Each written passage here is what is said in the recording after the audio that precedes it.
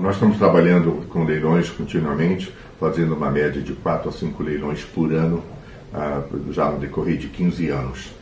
É, nosso objetivo, no sentido de resultado, é dar liquidez da maior forma possível para as pessoas que consigam aquilo que nós chamamos de patrimônio. No decorrer de todo esse período, em 42 anos trabalhando com isso, eu, eu comecei a, na, no começo dos anos, final dos anos 60, começo dos anos 70, eu na verdade eu pintava, gostava, porque isso está relacionado com o trabalho que a minha mãe desenvolvia. Minha mãe era professora de, de, de pintura e é restauradora, então todo